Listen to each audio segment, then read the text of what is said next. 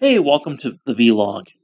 Uh, it's December, so if you celebrate Hanukkah, happy Hanukkah, happy Festival of Lights. If you're not familiar with that, go check it out. It's a pretty cool story.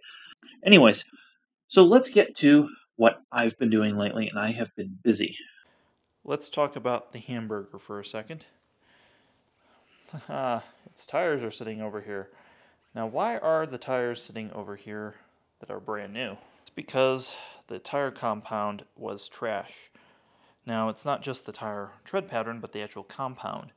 It wasn't grippy, and we have about 2,000 miles on it, about 1,700 when I took off those tires. Basically, what would happen is the truck would spin with just 10% throttle coming out of my street, and I did not like that. So I wanted a grippier tire. I also went with a slightly bigger tire. The truck is also has two inches lift to accommodate that. This was all in the plans when I purchased the truck. This truck truly has to do double duty. Now, I wanted to talk about something real quick and give a shout out to Deep Overland, who is a friend of ours, and he has a great YouTube video. Even though it's all in Chinese, it is a wonderful YouTube channel of just off roading in general in Colorado. I would highly recommend check that out. I'll put a link in the description below.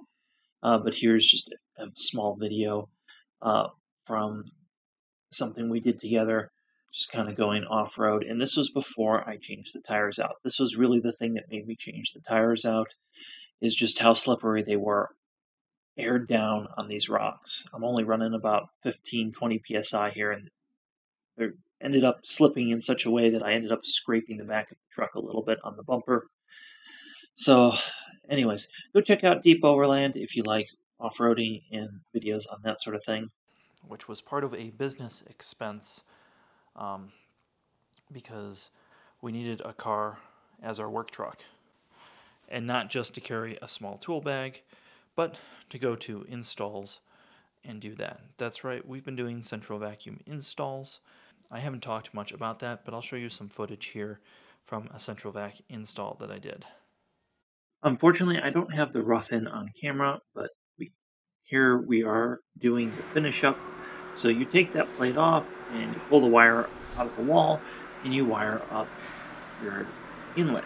This particular job site had four retractable hide-a-hose systems. We probably will install Chameleon in the future, but as of right now, we are just doing hide-a-hose. So you finish that up.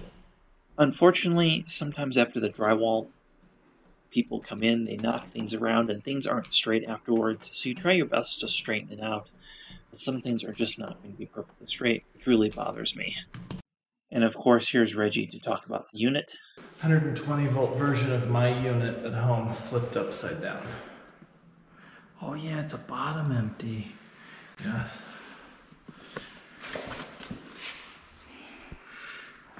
That's weird. Like, well, it's a little difficult to get. um, it's going to go in that orientation, I believe.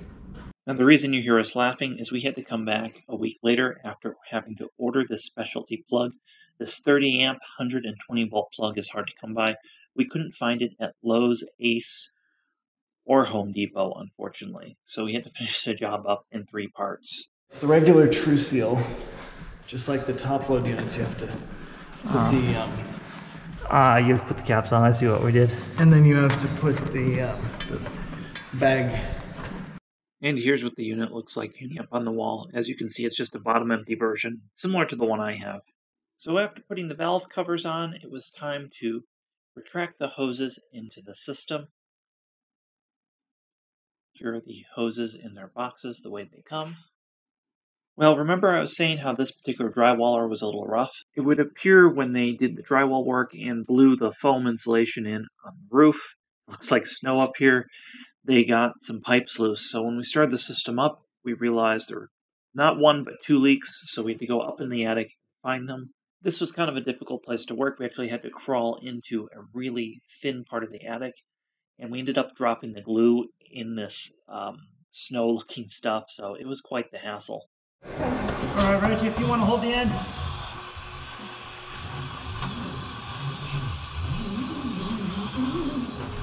This one's just going right in.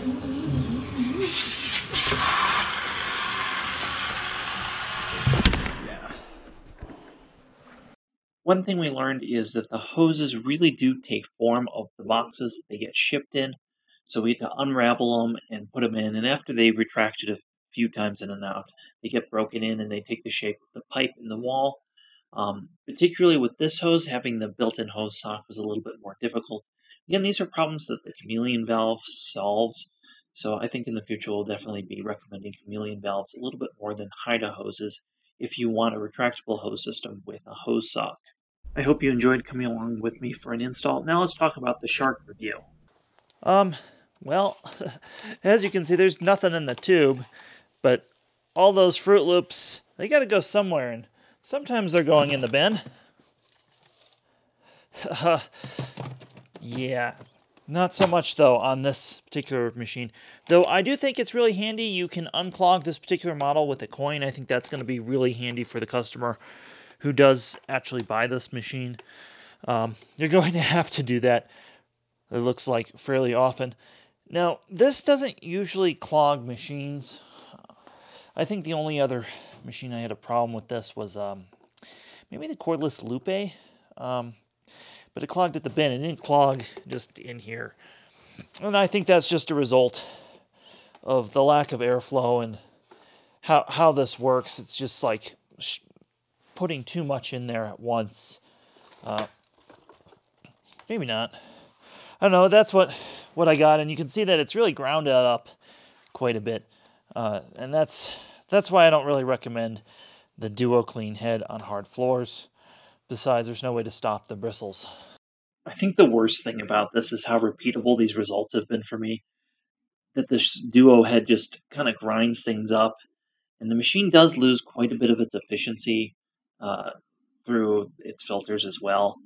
I probably now have 10 or 15 clips of it doing this with breakfast cereal and various items, and you'll see me post them over the different videos we're doing with this. This really has been one of the most frustrating things to have to review. I was really hoping for this to be at least as good as like a Bissell or something like that, uh, but it's just been horrendous. As you can see, edge cleaning is not great with this head. You can also see that it left quite a bit in the tile, and that's kind of been the story of this head, is it just leaves stuff everywhere. And again, the design of this when you lo really look at it compared to other vacuum cleaner heads, it makes sense that it would be leaving stuff like this. I'm still amazed that these subpar results would even be acceptable to the consumer. It just really blows my mind. I guess maybe I'm spoiled and I grew up with things like Electroluxes and stuff, but I'm really just frustrated. And that's why these shark reviews have been so slow coming. Hey, big thank you to our Patreons. You guys really made this review and all this stuff really happen. So big thank you. If there's anything you'd like to see a video on that you think we could make as a patron, please feel free to let me know. I try to put out as much content for you guys as possible. Um, I know things have been kind of lacking lately. Hopefully it picks up after we uh, get some other things rolling here. Thanks for watching. Have a great day.